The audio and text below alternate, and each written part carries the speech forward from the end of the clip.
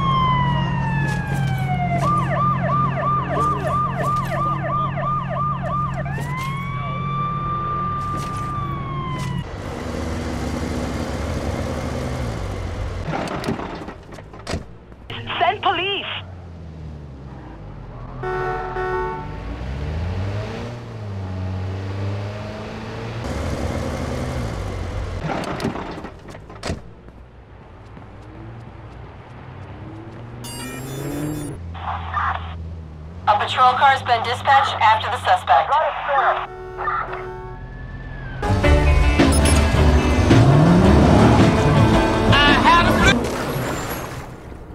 I don't want to die.